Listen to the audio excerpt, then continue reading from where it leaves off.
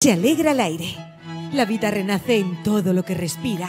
En el corazón. Dos violines, una viola y un violonchelo bastan para poner en escena Las Cuatro Estaciones, de Antonio Vivaldi, una de las piezas más famosas y reconocibles de la música clásica. Pero conforme a las partituras originales, este cuarteto de cuerdas también puede estar acompañado por una narración, como sucederá en el espectáculo Mis primeras cuatro estaciones, que se representará este sábado 10 de junio en el Teatro Cruce de Culturas del Cruce de Arinaga.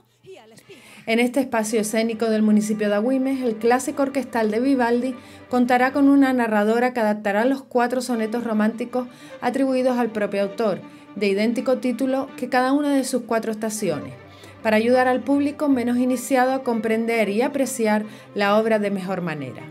Será una manera original y amena de escuchar los conciertos de Vivaldi, e introducir al público infantil en el maravilloso mundo de la música clásica.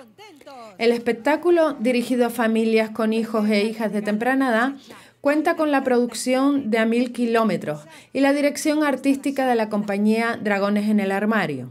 Comenzará a las 19 horas y tendrá una duración aproximada de 75 minutos, hasta las 20.15. Las entradas al precio de 6 euros se pueden adquirir a través de la web ticketentradas.com o en la propia taquilla del Teatro Cruce de Cultura, desde una hora antes del inicio del evento.